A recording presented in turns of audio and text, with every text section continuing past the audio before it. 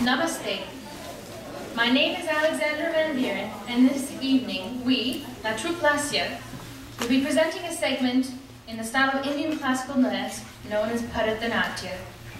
First, Jaya Srivastava Chawla, a director and teacher at Lassia, School of Bharatanatyam, will be presenting a piece inspired by the goddess Kuan Yin, which she created especially for this evening's program.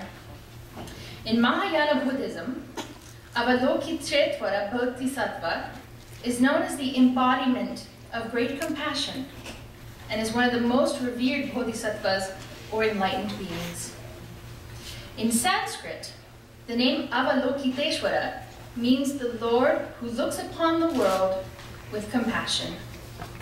And in China, Avalokiteshvara Bodhisattva is represented in the female form.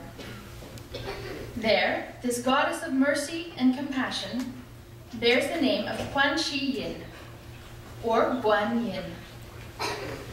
Kuan Yin is often depicted holding a willow branch in one hand and a vase with water in the other hand. The willow branch is used to heal people, to bring healing spirits and to banish illnesses or to bring fulfillment to their requests.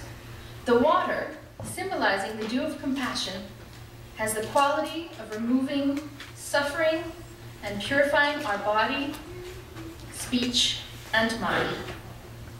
According to the Buddhist text known as the Heart Sutra, the Bodhisattva Avalokiteshvara, or Kuan Yin, experienced liberation and overcome all ills and suffering as a result of the insight gained while engaged in deep meditation. Briefly, the insight explains the concept of sunyata, or shunyata, which is translated as emptiness, and refers to the fact that nothing, including human existence, is permanent. In other words, we must remain unaffected by what we see all around us in order to be free from the suffering caused by our egos, our attachments, and our resistance to change. The goddess Kuan Yin, danced by Jaya Srivastava Chawla.